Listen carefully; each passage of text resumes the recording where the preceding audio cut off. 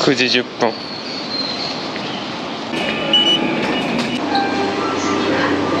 浜松町。合ってる？モノレールこっち。東京モノレール方面出張リーマンが多い。あーみんなについていく。左側通行ご協力お願いいたします。なるべく左側に寄って俺が右側で立ち止まることで混雑を緩和する。メンタル折れた。あれ？コロナは？終わりました？人多くない？修学旅行の気配。を感じる。違うか。マジで多いな。あ修学旅行や。最悪のタイミング。きつい。きついぞ。もうよここにしよう。サンリオコラボ。なんで？あ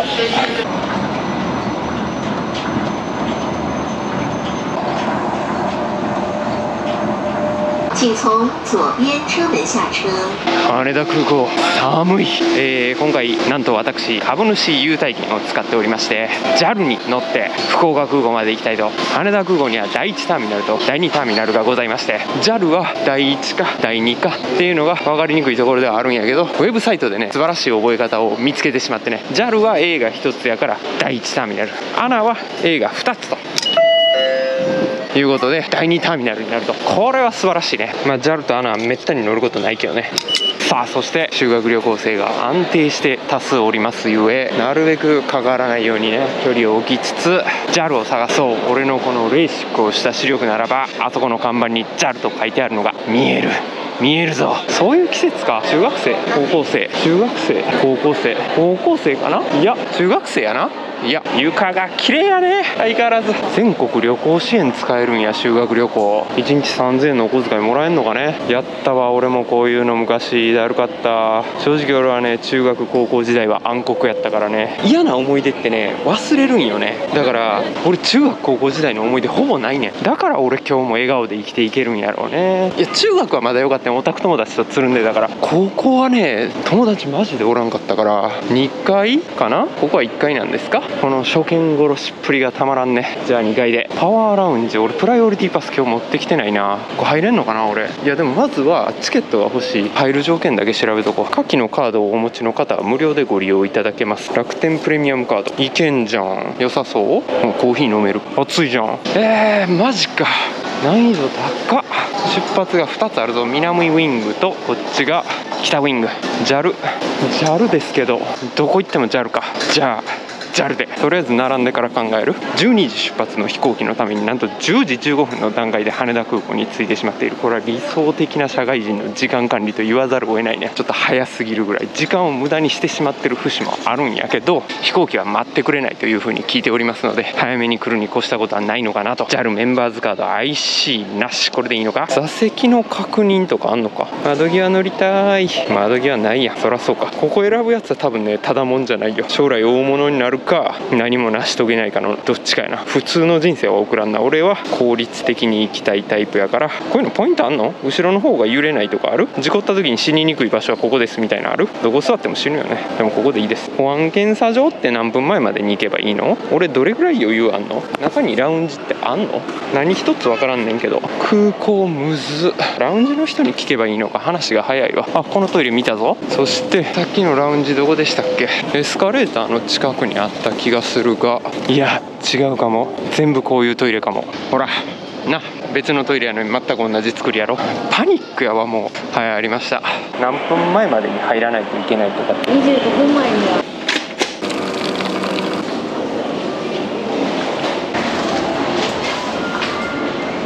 ありがとうございました。持っててよかった楽天プレミアムカード。年会費1万円払っといてよかった。ってなるか。保安検査場通過完了。11番ゲートを目指す。あら素敵な環境。こんなお庭にしたいわね。11番。こっちだが修学旅行生がたくさんいるな。目的地が気になる。目的地はやっぱり奈良かな。奈良。沖縄贅沢な目的地だね。お前は今日から奈良だよ。鹿と大仏の刑に処す。学習できんのか沖縄で。まあ奈良で何が学習できるって話やしな。俺も北海道行った気がするわ。そういえば昔。11番。乗ります。福岡。到着。手荷物はないぜ。すげえ福岡や。Suica が使える。福岡空港駅。福岡空港博多がすぐ隣か。博多近いな。で新幹線ここで。で天神がここか。福岡っぽい。博多のベンチ。博多の手すり。天神到着。エスカレーターは左側。まだ今のところ福岡っぽいところを見つけることができていない。地名しか東京との違いがないぞ早川県獲得。これは東京では手に入らないよ。まずはホテルだ。これはナンバーウォークみたいなものか。どこにでもあるなこういうの。天神も東京でいうところの新宿大阪でいうところの難波みたいな立ち位置だと思ってるんやけど合ってんのかね。随分シックな地下街やな。色合いに統一感を感じる。福岡12の大都市。天神です。全然違うとこ出てるわ。西2と普通の2は違うのね。むっちゃ普通やな。やっぱ東海どこも一緒やこんなん天神って言われるのは天神って分からんで。この信号長くない？あーザラある都会やここ。よかった。これですかね。違うロイヤルホストん？ロイヤルホストにしてはでかすぎる。あった。リッチモンドホテル。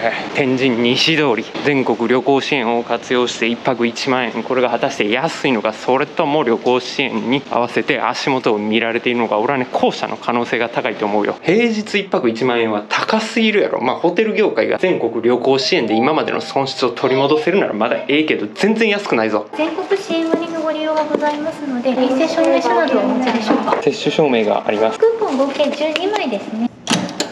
禁煙シングル。お。加湿器あるやん。素晴らしい。ただここ大浴場ついてないということでしたのでやっぱちょっとお高いんじゃないですかね。平日1泊1万円っていうのはどうなのかな。まあ立地は鬼のようにいいからいいとして。そしてあとはクーポン券ですね。ご近所のファミリーマートで使えるということでしたのでどれぐらい汎用性が高いのか。ファミマの弁当を1万2000円分買うのは俺は避けたいぞ。ただ朝食がロイホっていうのはちょっと嬉しいな。これちょっと楽しみですね。じゃあまずは加湿器に水を入れましょう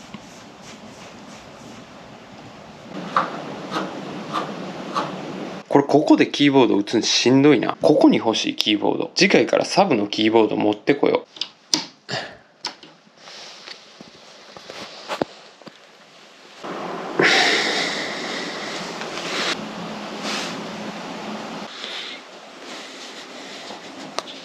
ハゲ薬、マルチビタミン。朝食券6時半から10時半だが、この朝食券はランチ、ディナーご利用の際に金券としてご利用いただけます。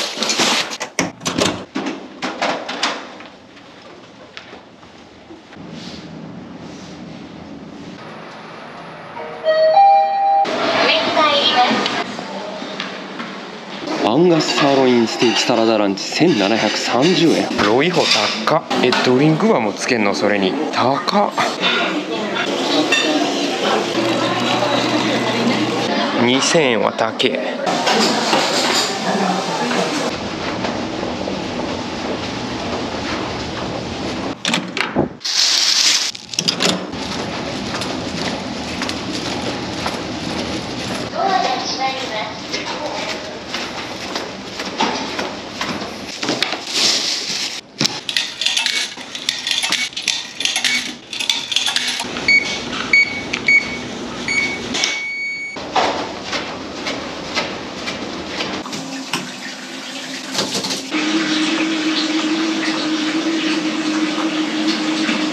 これからないとここに配置されるだろう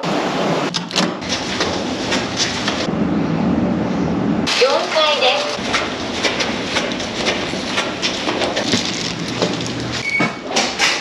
16時45分外行くか。天神。牛カツの気分。牛カツ京都。勝牛。